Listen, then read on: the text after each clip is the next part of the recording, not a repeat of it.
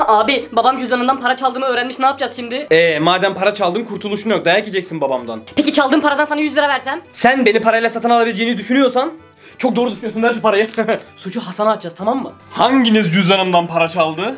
Ee, baba yemin ederim parayı Hasan çalmış. Aha kardeşimle gördük. He demek Hasan çaldı ha. Hasan oğlum Ne oldu baba? Param var mı yavrum? Evet param var ama ne oldu? Bana para mı vereceksin? He para vereceğim bak param burada. Sen babandan para çalmaya utanmıyor musun lan?